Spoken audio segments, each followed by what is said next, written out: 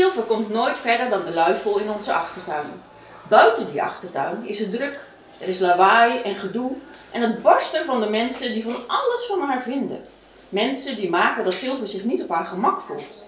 Tel dat allemaal bij elkaar op en je krijgt paniek, stress en kortsluiting. Je hebt een uh, bijzonder jeugdboek geschreven. Hoe is dat zo gekomen? Uh, eigenlijk ben ik daarvoor gevraagd door uh, Lineke Bolhuizen, directeur van uh, Stichting Informele Zorg. Um, zij vond dat het tijd was voor een leuk en spannend boek over, of met een jonge mantelzorger in de hoofdrol. En zij heeft mij daarvoor benaderd. En nou, samen in overleg met de uitgeverij is, is dat een heel mooi project geworden. En is daar nu een leuk en heel spannend boek uitgekomen. Ja, want, over pizza's. Lekker boek ook nog, ja. Je hebt voor het boek ook uh, gesprekken gevoerd met enkele kinderen. Hoe was dat om uh, dat dan weer te verwerken in jouw boek? Dat was heel prettig, want ik, ja, ik weet zelf niet zo heel veel van het leven van een jonge mantelzorger. Ik ben dat zelf nooit geweest. Dus het is heel prettig geweest om van hen te horen hoe zij daarin staan, hoe hun leven is en hoe anders dat dan ook eigenlijk is dan het leven van een gewoon doorsnee kind wat verder geen zorgen heeft voor een broer, zusje, vader, moeder, opa of oma. En dat is vaak ook niet alleen maar dat ze ervoor moeten zorgen, maar dat ze er dus ook bezorgd om zijn.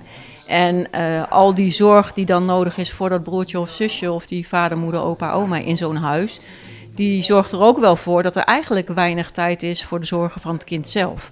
En uh, daar is uh, Stichting Informele Zorg heel erg goed mee bezig, denk ik. Je hebt ook JMZ Go en meerdere organisaties die zich inzetten voor jonge mantelzorgers en zorgen dat zij af en toe uit de thuissituatie worden gehaald.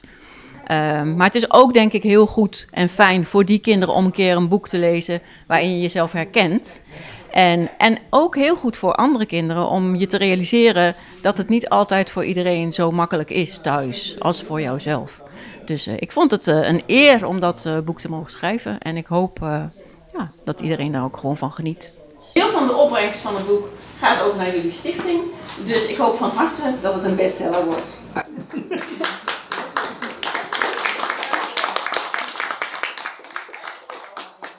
Je kreeg uh, zojuist een uh, boek overhandigd.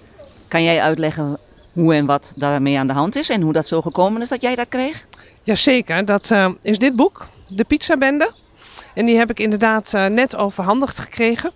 En dat is omdat wij uh, als uh, Stichting Informele Zorg ondersteunen wij jonge mantelzorgers. Dus dat zijn kinderen die een broertje of zusje of ouder hebben die ja, een ziekte of beperking heeft.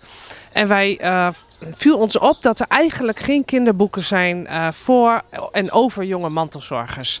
En wij hebben gemeend van joh, er moet gewoon een leuk, gezellig, geen zielig verhaal, maar gewoon een leuk kinderboek komen.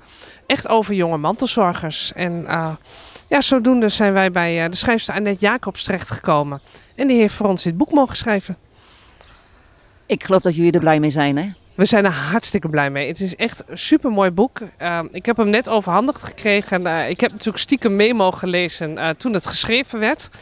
Nou, en ik kan niet anders zeggen. Het is echt een heel erg leuk boek. En ik moet eerlijk bekennen, ik heb ook een paar kinderen mee laten lezen. En die waren gewoon heel enthousiast.